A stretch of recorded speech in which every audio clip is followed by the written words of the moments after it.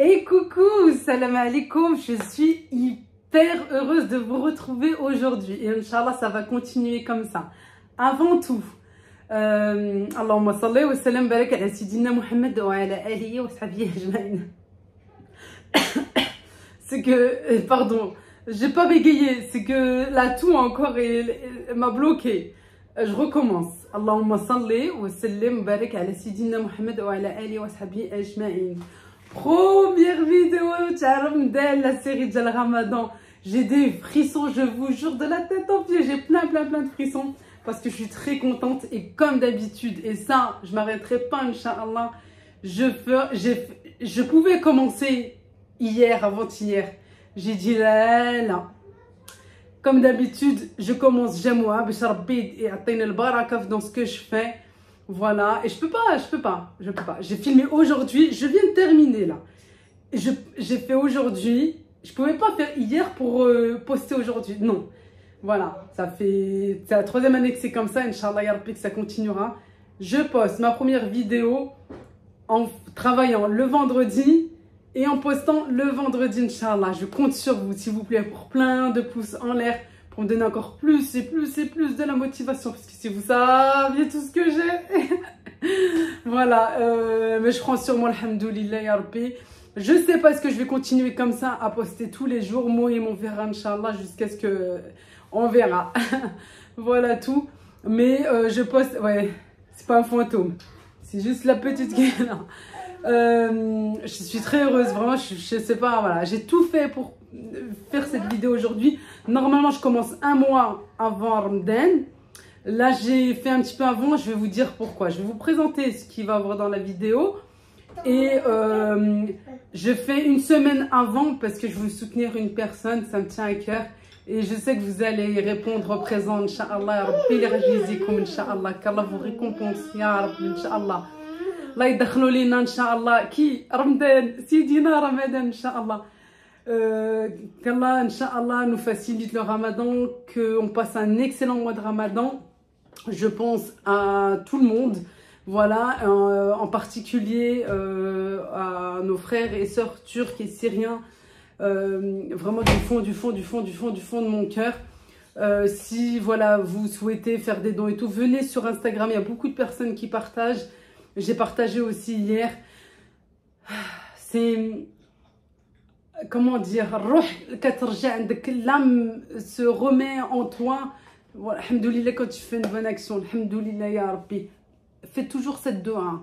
Qu'Allah, ça c'est une abonnée, l'une d'entre vous qui me l'a dit la dernière fois et ça m'a fait tic. C'est vrai que ma mère elle le dit aussi, euh, mais c'est pas quelque chose que je disais régulièrement. C'est bien d'avoir des, des rappels comme ça, qu'Allah nous donne pour qu'on puisse donner aux autres. Ya Rabbi, Ya Rabbi, Ya Rabbi, Ya Rabbi, vous me connaissez, sinon je peux terminer. Vous avez vu euh, les nouvelles lunettes? Ouais, j'ai ramené les autres. Ah, il faut négocier. Je croyais qu'il y a Coblette qu'on négocie.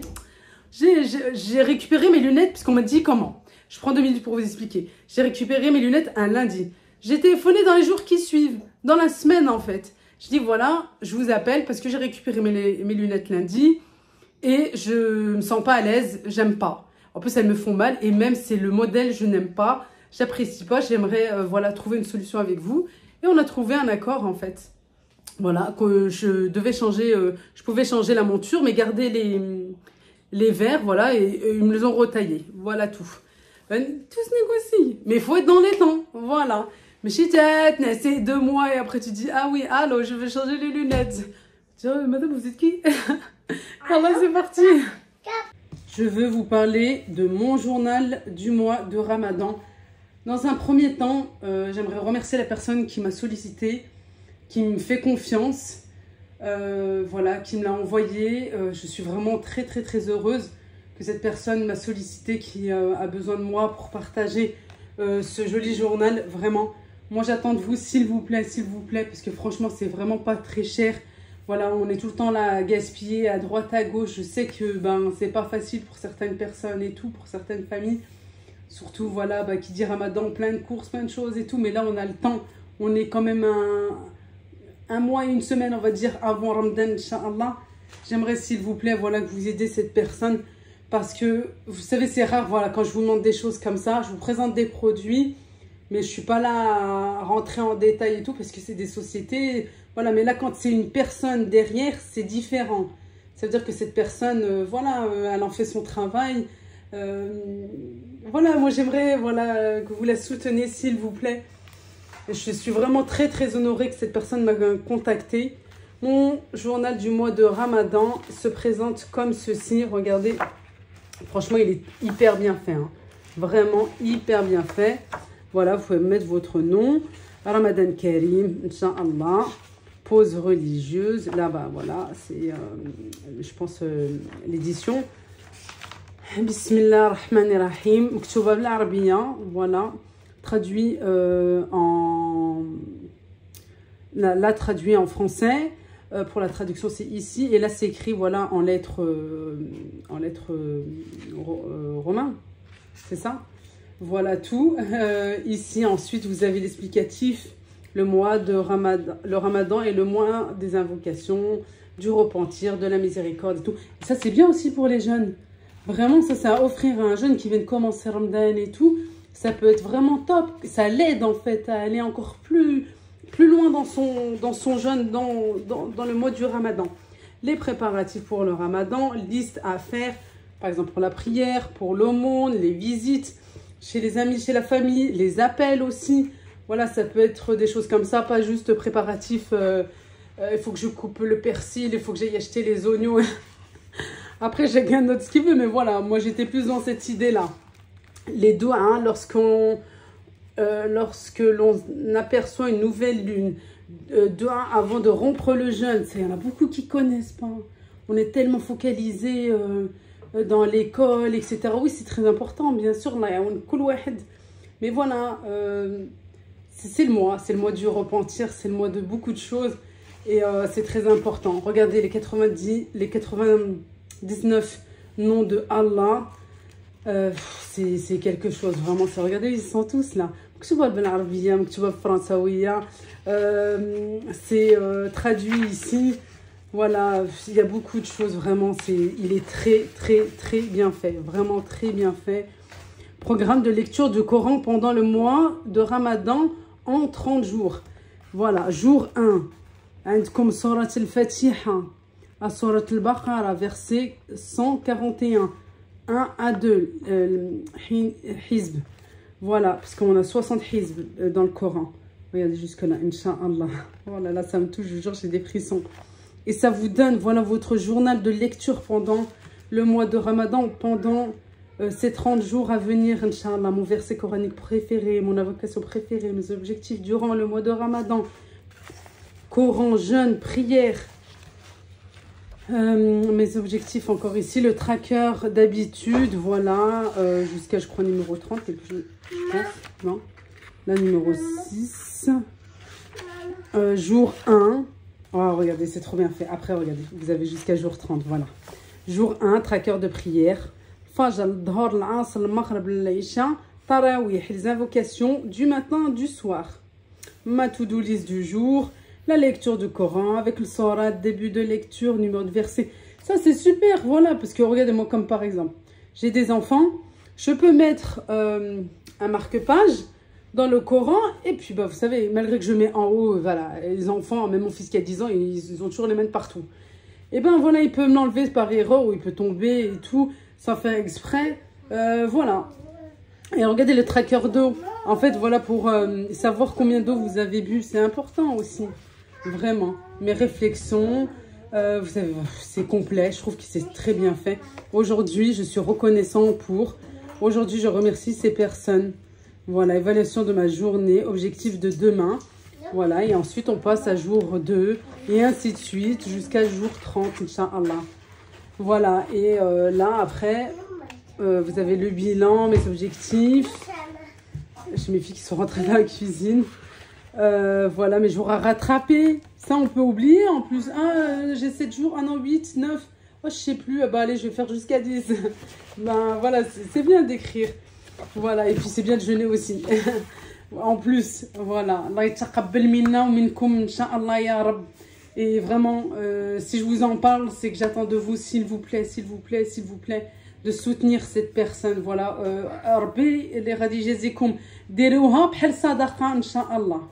Merci beaucoup. Et on passe tout de suite à la recette de la harira et bien sûr euh, au pain batvot aussi. On commence notre première vidéo de notre série Ramadan, Inch'Allah, 2023. بإذن Inch'Allah, لا يدخلوا لكم ولينا بالصحة والسلامة والعافية والعمر والرزيق وكل شيء والصحة والصحة والصحة. آمين رب العالمين. Pour cela, qui dit Ramadan, qui dit bien sûr euh, voilà, euh, quelque chose de chaud pour rompre le jeûne. Et ici, moi, je vous présente une recette que je vous avais déjà présentée l'année dernière, une harira ben, qui est très très saine, euh, très très bien pour la santé, voilà, pour notre santé, parce que la, la, recette traditionnelle, voilà, à l'intérieur, il y a un liant, c'est-à-dire farine plus eau, et on sait de plus en plus que c'est pas bon, c'est vraiment euh, pas digeste du tout pour notre corps. Voilà tout. Et dans cette harira, j'ai fait une harira soupe, c'est-à-dire j'ai mis des légumes à l'intérieur. Mais regardez, on le ressent même pas. Et même pour vos enfants, vraiment. Parce que, machallah, voilà, euh, bah, les ados euh, jeunes aussi, les plus jeunes, jeunes aussi, bah, pendant les vacances, pendant le week-end aussi, ça peut leur arriver. Voilà, ils veulent faire comme les grands et comme les parents. Voilà tout. Et vous, donnez à vos enfants des légumes sans même qu'ils s'en aperçoivent. Regardez. Regardez. Ils ne pensent même pas qu'il y a des, légumes à l'intérieur. Voilà tout. Pommes de terre, carottes, bah, après de façon traditionnelle, euh, oignons, euh, tomates. Mais je vous montre tous les étapes, je vous dis en détail et tout, comme ça vous allez bien réussir, Inch'Allah. Et bien sûr, qui dit harira, dit batbout ou bien matelot, ça dépend des régions voilà, et des pays comme on peut l'appeler. Facile à réaliser, hein. euh, même pour la plus fainéante des fainéantes, quand tu n'as pas envie de faire du pain, que tu es fatigué et que ben, tu, voilà, tu jeûnes et que tu n'as pas le temps, ou pour quelqu'un qui travaille et qui, euh, euh, avec les enfants, etc., c'est très difficile pour elle de faire un, dîner, à faire le repas pour le ramadan. Et je vous donne une recette simplifiée, très très simplifiée, parce que vous allez mettre tous les ingrédients, hors la farine, dans le mixeur, dans le bol du mixeur. Vous allez mixer, vous allez rajouter petit à petit votre farine, vous mélangez. Et voilà, pratiquement la recette est faite. Vraiment, c'est super super simple. Et attendez, regardez, regardez le pain. Regardez, vous allez voir en plus en image qui gonfle celui-ci là, hyper bien gonflé. Regardez-moi ça. Ça se détache. Quand ça se détache, ça veut dire qu'il est excellent. C'est pas moi qui l'ai dit. C'est ma mère qui le dit. Mon mari aussi. Regardez-moi ce bon pain. Regardez, regardez. Regardez les grands trous là qu'il y a. Ça veut dire qu'il est hyper, hyper... Euh, voilà, dense. L'ami est hyper... Euh, voilà, pour faire des sandwichs, pour l'accompagner avec la harira, pour l'accompagner pour un tagine, et encore et encore et encore. Voilà tout. Une harira saine, mieux pour notre corps, pour notre santé, alors, des légumes. J'ai une pomme de terre. J'ai un oignon. Regardez, c'est juste épluché et ça reste... Euh, j'ai laissé entier. Je n'ai pas coupé. Alors, ça nous facilite encore plus. Je vais mettre deux tomates puisque je vais rajouter du coulis de tomates. Surtout que c'est pas encore la saison. Des carottes. Alors, moi, d'habitude, je mets une bonne carotte. Là, elles sont petites. Vous voyez, elles sont assez fines aussi. Euh, là, j'en ai mis quatre. Mais normalement, c'est une bonne carotte ou deux. Voilà. Ensuite, qui dit harira, shorba, soupe, bah, de l'eau, bien entendu. Euh, bien sûr, ça dépend de la quantité euh, dont vous avez besoin. Moi, je vais faire une grande quantité pour moi, pour ma famille, pour ma maman aussi. Après, vous pouvez diviser les quantités. Bon, pour l'oignon, mettez-en un plus ou moins moyen. Voilà, c'est pareil pour les tomates. Euh, après, ça dépend. Il y en a qui aiment la harira bien tomatée. Voilà, euh, riche en, tomates, d'autres non. Ça dépend des personnes. Je rajoute encore de l'eau parce que j'en ai besoin. Voilà, à peu près le, max. Voilà. Pour les épices, j'ai mis du sel, du poivre, du curcuma, du gingembre et une demi-cuillère euh, à café de cannelle. Bien entendu, des lentilles. Du céleri. Alors moi j'ai dû congeler. Euh, faites pas la même bêtise que moi. Je l'ai oublié euh, dans le mixeur. Je l'ai trop mixé. En plus, euh, bah, voilà, le thermomix il est hyper puissant, machin. j'ai oublié, il s'est rendu un petit peu liquide. Bon, après voilà, c'est du céleri. moi j'aime bien mettre une bonne quantité. En plus c'est super bien. voilà, le céleri c'est bon hein, pour la santé. Par contre, on est d'accord, c'est encore meilleur quand c'est frais, quand tout est frais, voilà, que c'est fraîchement euh, ciselé. Bah, bien sûr, voilà, c'est du persil et de la coriandre. Je vais en rajouter aussi. Voilà. Pareil, c'est meilleur quand c'est frais. Voilà, j'en rajoute. Et ce qui se passe aussi, qu'il y a certaines personnes, vraiment, quand elles les prêtent, euh, quand elle est prête, euh, quand voilà, elle est cuite, ils rajoutent à la dernière minute euh, du euh, persil et de la coriandre. Ça donne vraiment un très très bon goût. Une bonne cuillère bien remplie ou même deux de tomates euh, concentrées. Je ne sais pas si vous avez vu le prix, pardon, dernièrement, mais ça, surtout à Lidl. Faites attention Lidl. Parce qu'on se dit que c'est le moins cher, c'est discount et tout. Attention, attention. Oh, 3,70€ les quatre petites boîtes. Mais euh, moi, je l'ai prise, euh, je crois, à grands frais. Euh, beaucoup moins cher, dans les 1,50€, 2€, regardez. C'est l'équivalent des petites boîtes là de chez Lidl. Et pareil, chez le chez l'épicier turc ou oriental et tout, c'est beaucoup moins cher, mais faut arrêter. Bon. Je vais rajouter du coulis de tomate. Voilà, il y en a qui rajoutent, il y en a qui rajoutent pas, c'est pareil, ça dépend des personnes. Et euh, vous pouvez rajouter de la viande, bien entendu. Moi, je n'en ai pas mis. Euh, c'est rare que j'en mets dans la là. Parce que voilà, c'est plutôt pour le soir et tout. Même pendant le ramadan, comme il y a tellement d'accompagnement à côté, voilà, euh, bah, je ne rajoute pas. Par contre, je rajoute un petit peu de gras, voilà, obligé. Un petit peu d'huile. Vous avez vu, une cuillère à soupe à peu près. J'essaye de réduire un jour après jour la quantité de sucre, de gras. Allez, moi je vais allumer mon feu. Il y a quelque chose que j'ai pas encore mis, mais que vous allez voir juste à côté. C'est les pois chiches. Alors juste à côté, voilà, il me reste de l'eau en plus de tout à l'heure. Euh, de l'eau hein, plus ou moins chaude. J'ai euh, mes pois chiches que moi, euh, ce que je fais alors. Ça, je vous l'ai déjà dit, mais bon, pour les nouvelles, pour les personnes qui ne s'en souviennent peut-être plus. Après, voilà, chacun son organisation. Mais moi, ce que je fais, c'est que quand j'achète un kilo c'est-à-dire un paquet de pois chiches, je euh, le mets à tremper toute la veille, par exemple le matin jusqu'au soir, toute la journée, pour qu'il soit plus tendre, bien sûr. Après, je les goûte. Je, peux le laisser goûter voilà, toute la nuit. Ou si je fais ça le soir, je laisse, je tremper les pois chiches le soir pour le lendemain. Je peux laisser goûter une grande partie voilà, de la matinée, qui soit bien égouttée au maximum. Ensuite, je mets dans des sacs de congélation. Parfois, je peux faire des petits sachets. Parfois, je peux faire des grands sachets. Là, c'était plutôt un grand sachet, c'était assez rempli.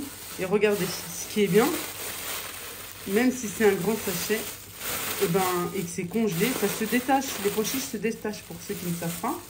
Et ensuite, je peux venir les rincer pour enlever euh, l'excédent de, glace voilà, qu'il y avait au congélateur. Ou bien, euh, comme ici, je peux les laisser encore tremper un petit peu pour pouvoir, regarder, enlever la peau. Voilà. Des fois, je laisse avec la peau. Ça dépend du temps que j'ai derrière moi ou pas. Là, il est hyper tôt. Il est même pas encore 9h. Je m'y prends vraiment à l'avance parce que j'ai une grosse journée. Et, euh, et c'est surtout, surtout, je fais la harira euh, pour ma petite maman. En ce vendredi. Euh, je pense que je vous l'ai déjà dit. Voilà, regardez. Et l'eau, elle n'est pas hyper chaude, hein. c'est juste tiède, quoi. Voilà, comme on laisse tremper. Voilà.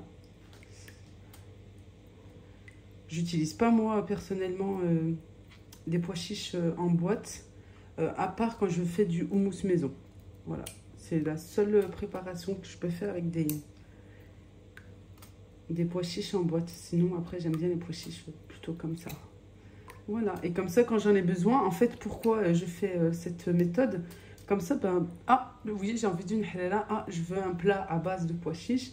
Et ben voilà, ils sont déjà prêts. J'ai pas besoin d'attendre hyper longtemps, euh, des heures et des heures, le temps euh, voilà, qui ramollissent dans de l'eau et tout, parce que ben c'est très dur, hein, les pois chiches. Et comme ça, c'est voilà, j'en ai tout le temps euh, au congélateur. Voilà. Comme je vous ai dit, j'ai mis des pois chiches à l'intérieur de la cocotte et j'ai mis le couvercle. Voilà, je laisse cuire tranquillement. Bon, ça va être assez rapide hein, parce que les pois chiches sont assez petits. Euh, et puis pareil pour les légumes, voilà, ça va aller vite.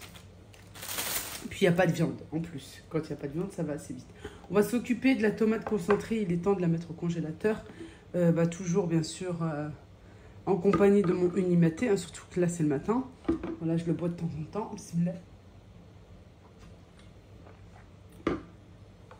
Concernant la tomate concentrée, pour une meilleure conservation, alors il y a deux méthodes que moi je pratique.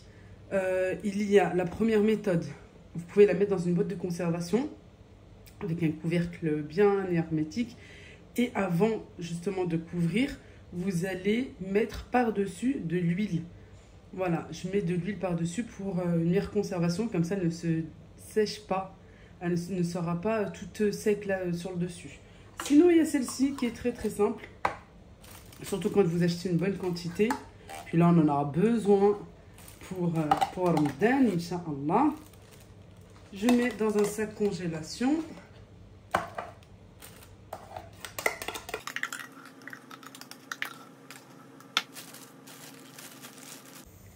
Ensuite, je viens aplatir. Vous savez, comme pour la viande hachée, comme pour la kifta. J'ai salé un petit peu, c'est pas grave. On essaye de faire ça correctement. Voilà, regardez. Hop.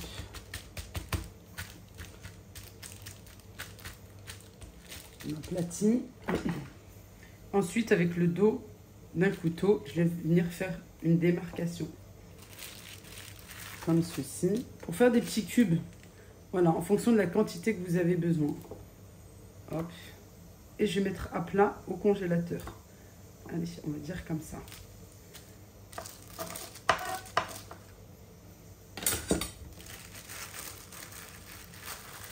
Voilà, comme ça, quand vous en aurez besoin, vous allez prendre uniquement le petit cube que vous aurez besoin.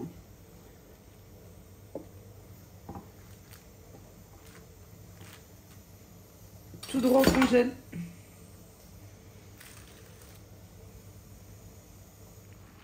J'en profite pour vous partager notre repas, Inch'Allah, pour ce midi. Il est 10h et je viens de terminer. Je vais mettre le couvercle et hop, je vais pouvoir euh, m'habiller et sortir. Euh, tagine, tagine remplie de légumes, on dirait un jardin.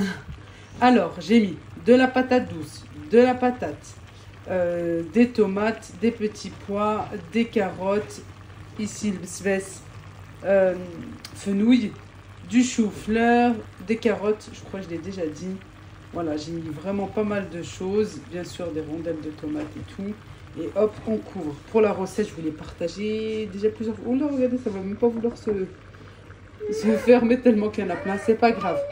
Voilà, j'ai fermé comme ça et je vais réduire le feu. Vraiment très, très, très, très doux. Et puis à mon mari, voilà. Comme ça, il pourra surveiller. Allez, nous, on va s'habiller. Je vais emmener bébé à la crèche.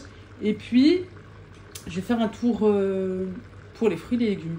Ouais, je vais aller faire un tour aussi à Grand Frais pour voir s'il y a des euh, amandes, si euh, toutefois ils ont commencé. Et j'espère voir la responsable du rayon, voilà, du rayon concerné pour nous, pour Ramadan, Inch'Allah, à Grand Frais pour avoir approximatif la date. On va voir ça.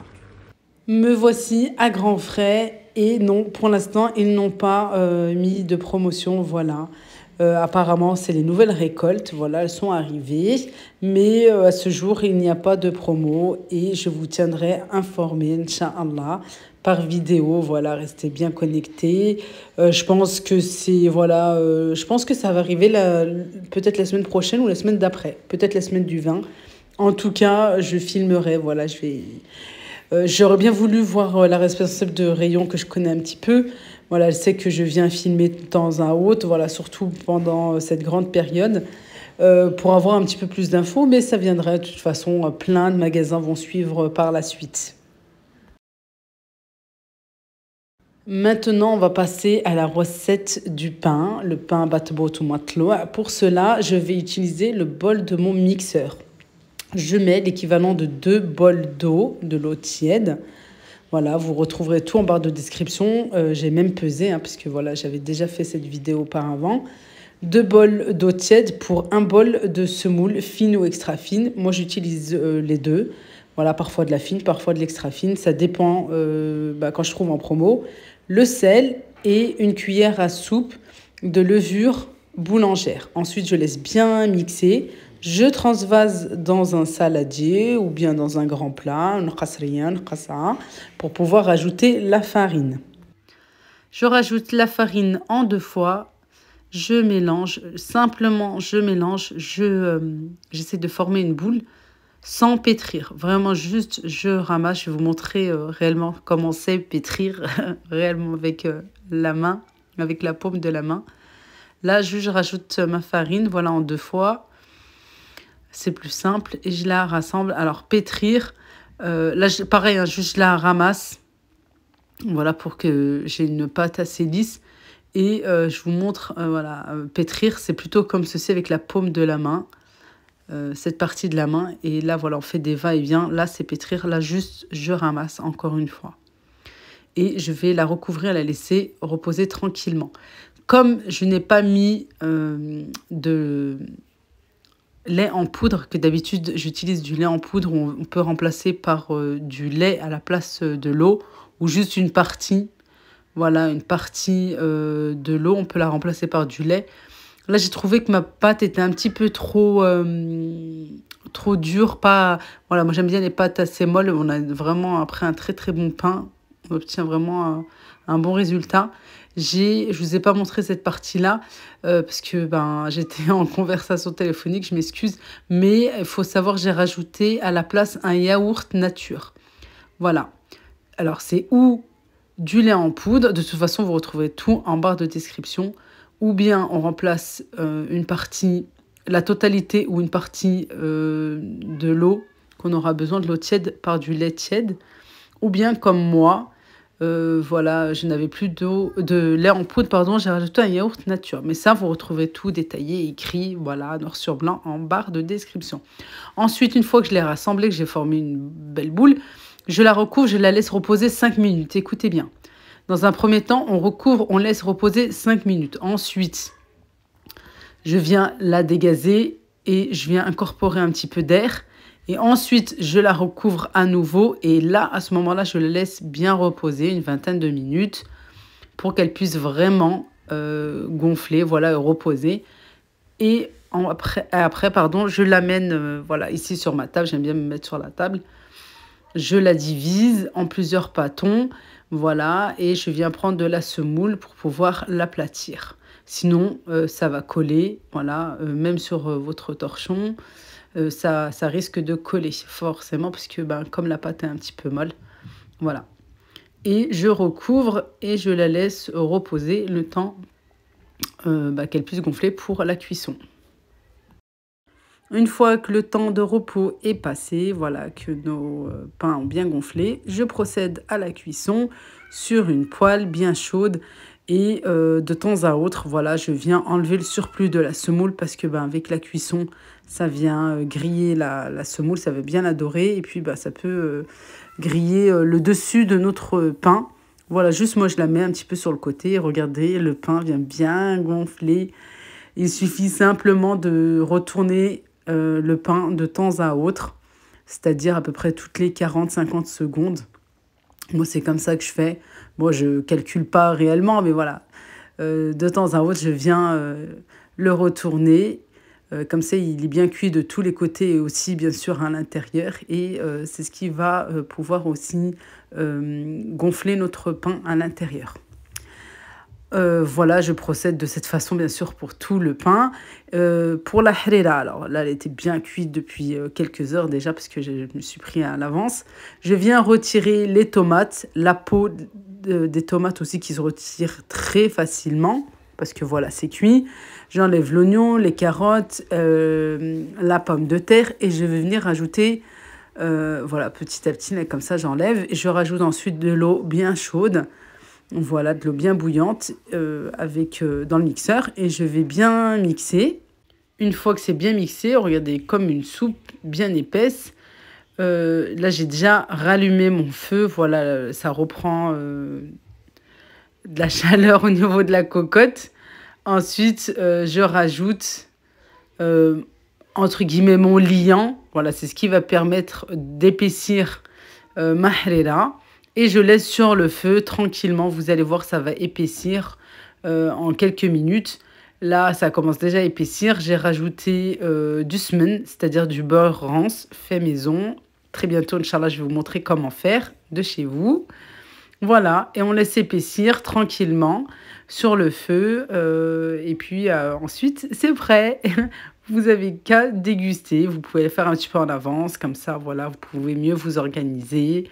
Euh, le tout, c'est de se faire plaisir. Bien sûr, euh, voilà, on jeûne, il faut bien manger derrière et euh, on essaie de manger de plus en plus sainement pour, bah, pour notre santé, tout simplement. J'espère que cette première vidéo de la série Ramadan 2023 vous a plu. Merci de liker s'il vous plaît pour me donner de la force et de la motivation, de l'encouragement à continuer, Inch'Allah. Moi, je vous embrasse très très fort. Prenez bien soin de vous et à très très vite, Inch'Allah. Bislama.